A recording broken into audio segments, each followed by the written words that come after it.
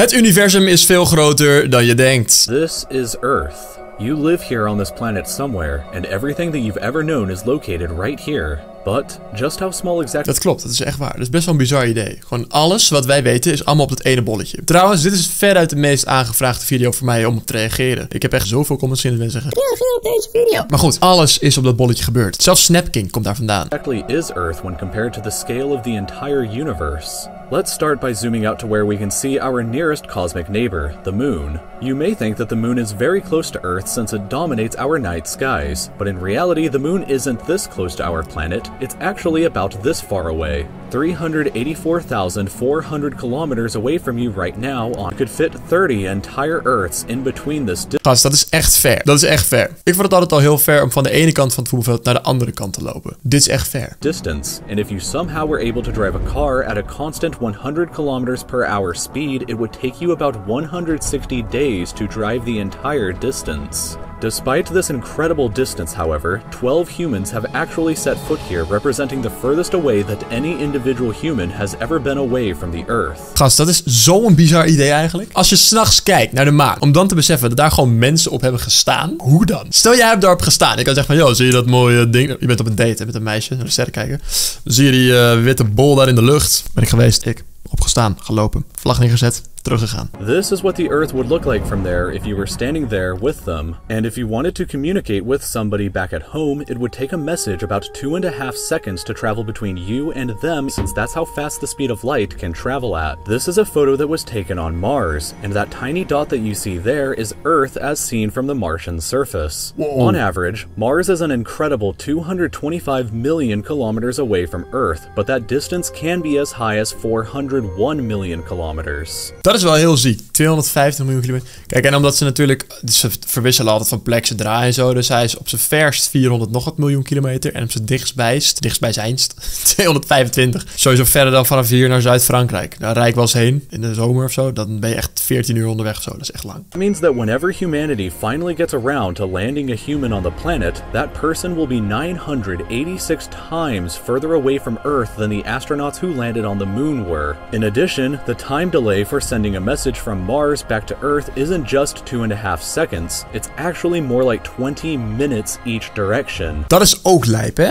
Dus als je een bericht verstuurt, dat kan niet sneller gaan dan het licht. Dus dan is hij op zijn vroegst 20 minuten later pas aan de andere kant, bij de aarde. Dus als er iets gebeurt en je hebt eh, binnen 10 minuten wat nodig, dat kan niet. Want je hebt 20 minuten nodig om dat te sturen. En wat ook echt een bizar idee is, is dat in ons leven waarschijnlijk uh, er iemand op Mars gaat staan. Er gaat gewoon een mens naar Mars. In dat ons leven, tenminste, tenzij je dit kijkt, je bent 90 uh, en je gaat bijna dood of zo. Dan niet. Maar als je nog een paar jaar leeft, dan is de kans groot dat er iemand op Mars gaat staan en dat wij dat dan gaan zien. Dat is echt bizar. Dat vind ik zo bizar. Dat lijkt me echt vet. Dat is een van de dingen waar ik het meest naar uitkijk, misschien wel ooit in het hele leven. When we zoom out even further away, we can find the Voyager 1 space probe, which is the furthest away man-made object from Earth. Earth. It is currently located 138 AUs from the Earth, AU meaning astronomical unit, which is the distance between the Earth and the Sun, which means that Voyager 1 is 138 times further away from us than the Sun is. Besef dat dingen zo ver weg zijn dat je ze meet met de afstand tussen de aarde en de zon. Ja, dat is zoveel keer de afstand tussen de aarde en de zon. Dat is 138 keer. Wat is eigenlijk de afstand tussen de aarde en de zon? Afstand zon van aarde. 150 miljoen kilometer. Bruh. Hey, dat betekent dat de zon dichterbij is dan Mars. Waarom gaan we dan niet gewoon naar de zon? Dan kunnen we daar toch wonen? Lekker warm. At some point on its long voyage, Voyager 1 turned its camera around and took this photograph.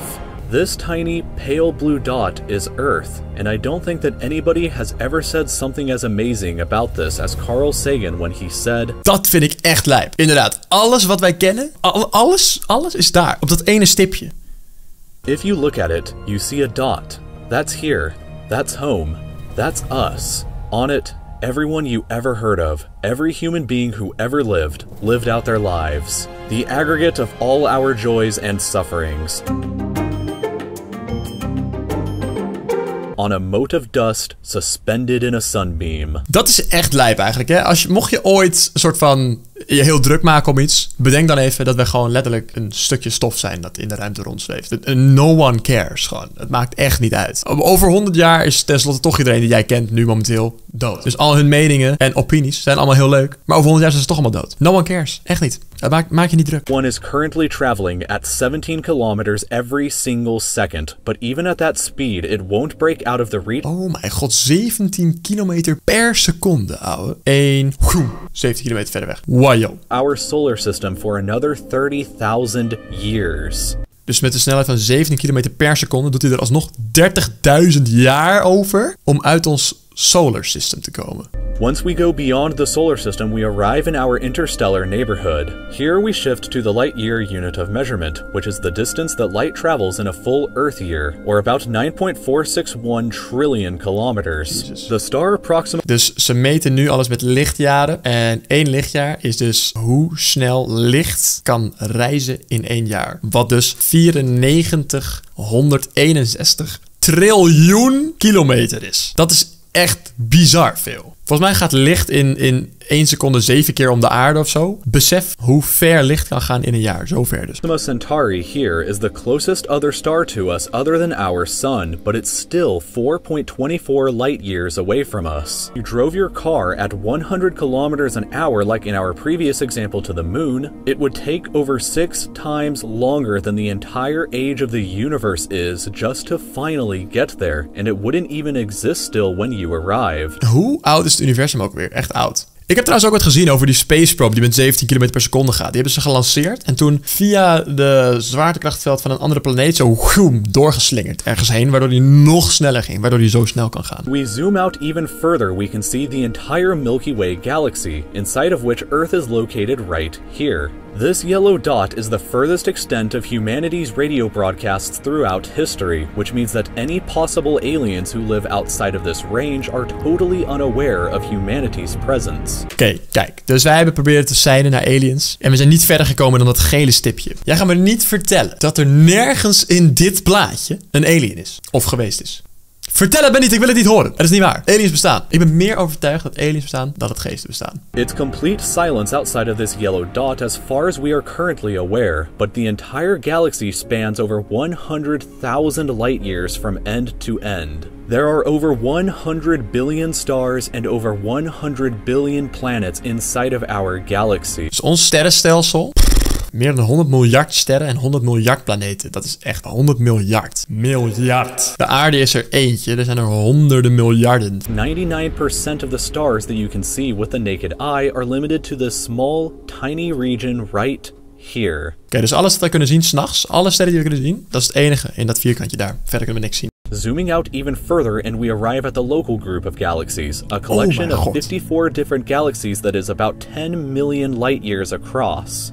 10 miljoen lichtjaar. Dus, het, dus, dus van de ene kant naar de andere kant doet licht er 10 miljoen jaar over. But zooming out even further, and we can see the Virgo supercluster, of which the local group here is just a tiny segment of. Each dot is one galaxy. Dus elk stipje is één zo'n galaxy met honderden miljarden planeten erin. But even the massive Virgo supercluster is nothing but a quiet and Oh tiny lobe of the Great God. Supercluster, an enormous structure that is home to our galaxy as well as 100,000 other galaxies. The distance from one side to the other is 520 million light years. Je gaat me niet vertellen wat we nog verder gaan uitzoomen. From even there, we can zoom out all the way to the entire observable universe and see that even the titanic Laniakea supercluster is just a tiny and insignificant part of everything. It is home to at least 2 trillion different and individual galaxies, which together contain more stars than there are Wacht even, wacht even, wacht even. Er zijn dus meer dan 2 triljoen sterrenstelsels, waarin dus honderden miljoenen sterren en planeten zitten. Ik dacht even een slimme wetenschapper te zijn, maar ik deed een berekening die helemaal niet klopte. Dus laten we dit skippen. galaxies, which together contain more stars than there are grains of sand on the entire Earth. What's perhaps even more interesting, however, is what actually lies beyond the observable Goeie vraag. universe. Keep in mind that the observable universe is all that we can currently see, and it's entirely possible that the rest of the universe outside of it is vastly larger and more fantastic than we can possibly ever imagine. Dat is echt lijp. Oké, dus er zijn dingen verder weg dan dat wij kunnen zien. En het universum groeit. Maar blijkbaar groeit het sneller dan, dan de snelheid van het licht. Dus als er hier iets is en het gaat naar achter omdat het meegroeit. Maar het licht gaat die kant op, maar minder snel dan dat het groeit. Gaat het dus nooit onze aarde bereiken. En gaan het ook nooit kunnen zien. According to the theory of cosmic inflation that was proposed by Dr. Alan Guth, if it is assumed that cosmic inflation began, then this would seem to suggest that at the present day, the entire universe is 150 sextillion times larger than the observable universe. That number for reference looks like this, with this many zeros. Dus dat betekent dat dat enorme ding dat wij net zagen, waar je dus 100 miljard jaar lichtjaar over doet van de ene naar de andere kant, 100 miljard jaar, dat dat dus maar een klein gedeelte is, want alles wat daar buiten is, is dus 150 sextiljoen, dat is dus dit getal, keer groter. Dus dat, dat ene ding wat zo mega groot was, waar je 100 miljard lichtjaar deed van de ene naar de andere kant komen, dat is dan zo groot als deze gloeilamp. But then realizing that in reality the entire universe is larger than the former planet of Pluto. Maar eigenlijk zit er nog dat dus omheen. Wat wij niet weten. Wij kennen alleen de gloeilamp, wat ze net niet zien. Maar alles erbuiten zit, is waarschijnlijk net zo groot als Pluto. En wat daar dan weer buiten zit, no one knows. Heb je nog goed geluisterd naar wat ik zei in het begin? Uh, problemen en alles maakt echt niks uit. Want, nou tenminste, ik wil, niet, ik wil niet zeggen dat mensen geen problemen hebben of dat het niet erg kan zijn. Maar ik bedoel meer van, als mensen wat van je vinden of zo. Don't worry, because they're just a tiny speck of dust. Je gaat toch wel even over je leven nadenken nadat je dit, je dit ziet. Goed, uh, ja, als er nog iets anders is waar ik op moet reageren, laat me weten. En uh, dit is een soort gelijke video, mocht je deze leuk vinden. Dus dan kan je hier klikken. En abonneer op mijn kanaal. Tot de volgende keer.